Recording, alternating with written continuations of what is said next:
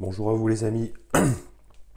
Bon, alors, pour cette petite vidéo, je voulais vous faire à la fois un petit tuto et aussi euh, vous montrer comment euh, euh, je préparais ma toile pour le prochain pouring. Donc là, l'idée, c'est de vous faire un petit tuto donc sur le comment j'applique euh, mon mortier de structure. Un empattement, euh, bon vous appelez ça comme vous voulez. Euh, là, en l'occurrence, je vais utiliser de la pâte de structure, du mortier de structure le franc-bourgeois. après, donc vous pouvez utiliser d'autres marques de, de texture et de structure. L'idée, c'est de mettre du relief sur ma toile. Et là, en l'occurrence, de faire, de faire un, de réaliser un, un, espèce de cratère volcanique. Donc c'est comme ça que je vais appeler ma, prochaine toile. Cratère volcanique pour. Donc je pense que ça va être une vidéo qui va se faire en deux temps. Dans un, premier temps, ça va être le tuto sur la pâte de structure. Et dans un second temps, je vais vous sortir aussi la vidéo euh, de cette... Euh, de cette toile. Voilà.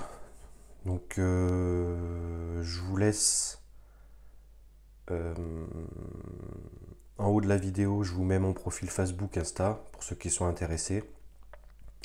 Alors je suis très content parce que j'ai vu qu'il y avait eu quelques vues sur mes vidéos. C'est toujours sympa de quand on commence une chaîne comme ça de savoir qu'elle est un petit peu regardée. Merci aux nouveaux abonnés. Et puis, euh, bien évidemment, euh, si mes petites vidéos vous plaisent, n'oubliez pas de mettre un petit like. Et bien évidemment de, de vous abonner car euh, d'une ça fait plaisir et puis c'est quand même relativement important pour, pour la suite. Voilà, donc on va passer directement à la pratique. Donc là l'idée, moi j'aime bien toujours mettre un petit coup de, de pulvérisateur comme ça sur ma toile. Alors comme ça, quand j'applique ma pâte de structure, bon, euh, quand elle sèche, ça évite déjà d'une qu'elle se craquelle et ça retend aussi la toile aussi un, un, petit peu avant quoi. Il me reste, pas grand chose, on va finir le tube. Bon, l'idée c'est dans, il n'y a pas besoin d'en mettre des tonnes. L'idée c'est juste de de faire un peu de, relief. Et l'idée c'est quand même de faire euh, bien mon cratère. Voilà. Alors, pourquoi un cratère? Le but c'est justement de pas faire comme les autres vidéos où je prends un open cup, où je me sers d'un emporte-pièce ou autre, ou un gobelet. Là c'est vraiment mon cratère justement qui va me servir de base pour faire mes coulées de peinture en fait. Voilà. C'est un truc que j'ai jamais vu sur aucune des vidéos. Bon, ça, après, on peut l'appliquer. Il euh, n'y a pas de... Je veux dire, voilà, il n'y a pas de... Le but, c'est de mettre un peu de relief un peu partout. En l'occurrence, pas trop épais parce que ça va être une coulée, donc... Il euh, faut quand même que la, peinture puisse couler bien sur tout le reste de la toile.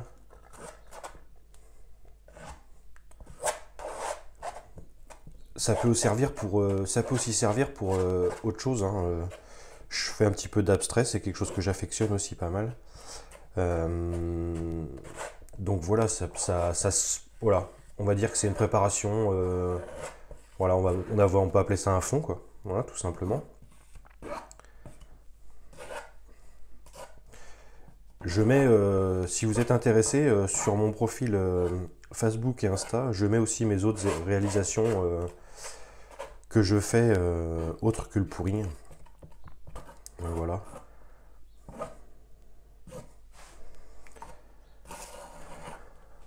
Bon après vous pouvez utiliser une palette comme ça, euh, grattoir, euh, j'ai fourchette, des cure-dents, des petites des petits ustensiles comme ça pour créer des vagues, des trous, des.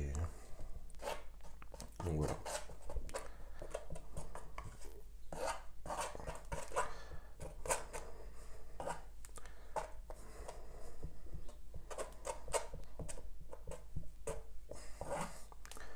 peut-être pas trop en mettre épais quand même. Ce genre de pâte, là, je laisse sécher. Euh, là, l'idéal, c'est de faire le soir, de la préparer le soir, la toile. Comme ça, le lendemain, c'est c'est sec.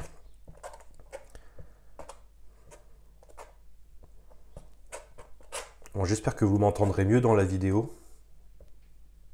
J'ai investi dans un, dans un micro suite aux recommandations de, notre euh, cher compère euh, Bernie euh, Art Fluide.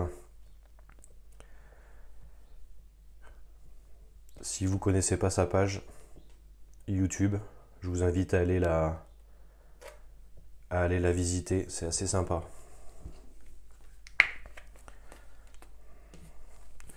Bon là j'ai fait un empattement un petit peu sur toute la toile. Maintenant, l'idée, c'est de créer un petit cratère. Vous pouvez aussi euh, utiliser euh, vos mains. vous pouvez aussi tapoter comme ça, ça fait un peu un effet un peu... Euh, je vais le faire par-ci par-là parce que j'ai pas envie justement que la peinture, euh, ça, ça gèle la peinture aussi à la coulée. Voilà, je suis en train de créer ma base pour pouvoir faire ma coupe.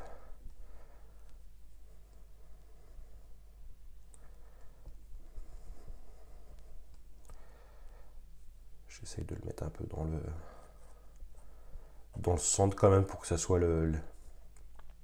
l'élément principal.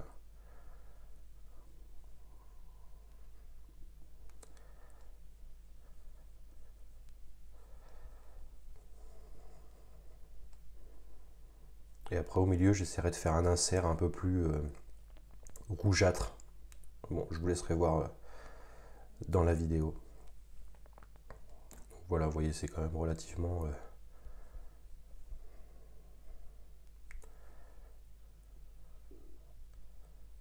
Alors l'idée, voilà, ça va être de mettre ma peinture au milieu.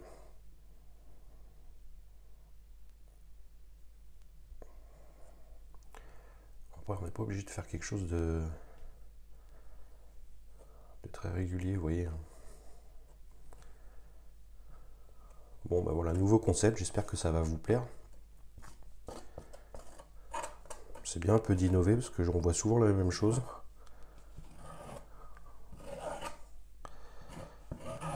Je fais bien mon bord parce que si je veux que ma peinture coule bien sur le bord,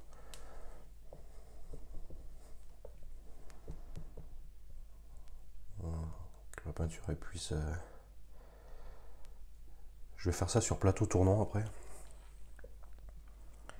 Donc voilà, il faut quand même que la peinture puisse... Euh,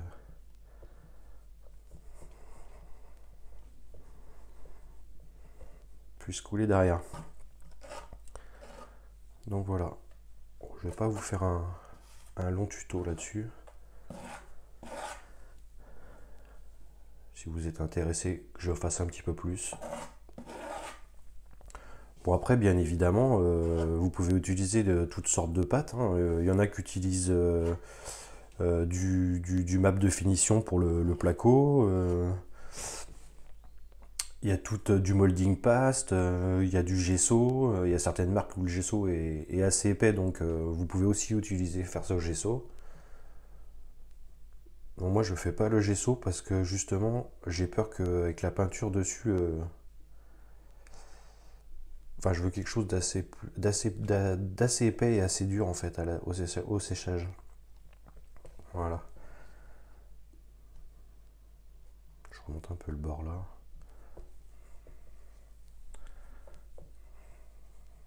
Voilà. Petit cratère, voilà, sympa. Je vais pas faire un truc trop régulier.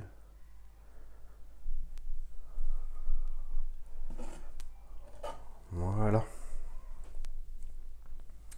Bon ben j'espère que ce petit tuto vous a plu. Je leur dis encore, n'oubliez pas de vous abonner, c'est important. Et puis, ben, je vais laisser sécher maintenant. Et un coup sec, je passerai à la seconde partie de, la vidéo. Voilà les amis. je vous fais un, plan du dessus. voir ce que ça donne. Bon voilà, il y a pas. Il y a un tout petit peu de relief, mais pas tellement. J'ai peur justement que ma coulée se fasse pas euh, correctement.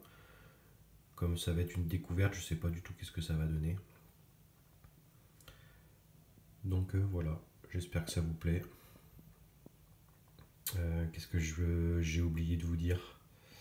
Euh, oui, si vous voulez, vous pouvez aussi. j'ai fait certains tableaux où j'ai mélangé mon empattement avec du sable ou cailloux, ce que vous voulez. J'ai même utilisé de la terre. Donc voilà, bon là, en l'occurrence, pour du pouring, je pense pas que ce soit l'idéal. Déjà, je ne sais pas ce que ça va donner. Donc voilà. Donc qu'est-ce que euh, oui, vu que c'est une vidéo en deux parties, euh, ben, n'oubliez pas donc de vous abonner et de mettre une, de, cliquer sur la petite cloche pour recevoir les notifications. Comme ça, ça vous permettra de, savoir quand euh, la vidéo de la suite de, la suite de ce petit tuto arrivera. Voilà, ça sera plus simple pour vous. Et puis, ben, je vous dis à très vite, car les, deux vidéos, je vais, je pense, les sortir dans la même journée. Donc voilà.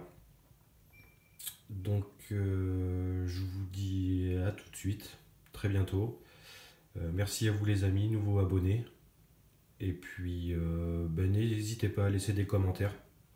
Si vous avez des recommandations, toutefois suite à ce petit tuto. Si euh, il y a d'autres choses qui vous font envie, qu'on essaye ensemble, parce qu'on est aussi là pour, euh, pour apprendre tous ensemble. C'est le but un petit peu du, tuto pratique. Euh, voilà. Donc, je vous dis à très bientôt, les amis.